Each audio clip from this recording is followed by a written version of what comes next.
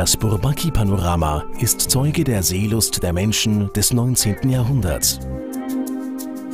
Das riesige Rundgemälde aus dem Jahre 1881 gehört zu den beeindruckendsten Seespektakeln der Mediengeschichte.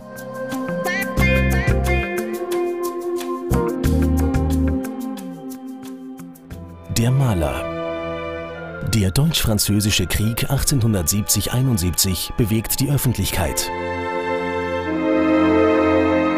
Viele Zeitungen berichten regelmäßig und in großen Beiträgen darüber. Der Maler Eduard Gastre stellt das Elend der Bourbaki-Soldaten und ihre Internierung in engagierter Art und Weise dar. Am eindrucksvollsten ist das Panorama-Großbild von Eduard Gastre. Es ist eine schonungslose Kriegsanklage und ein herausragendes Kunstwerk.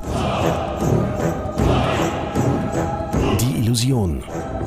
Gegen Ende des 18. und im 19. Jahrhundert entwickeln sich neue Medien, die die Welt möglichst wirklichkeitsgetreu nachzubilden versuchen.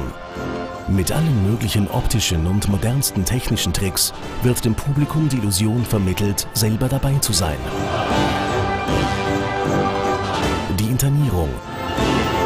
Zwischen dem 1. und 3. Februar 1871 überschreiten 87.000 französische Soldaten und Offiziere zusammen mit Rotkreuzhelfern, zivilen Flüchtlingen und einigen deutschen Kriegsgefangenen zwischen dem Valais de Joux, Vallorbe, Saint-Croix und Les Verrières im wattländischen und neuenburgischen Jura die Schweizer Grenze.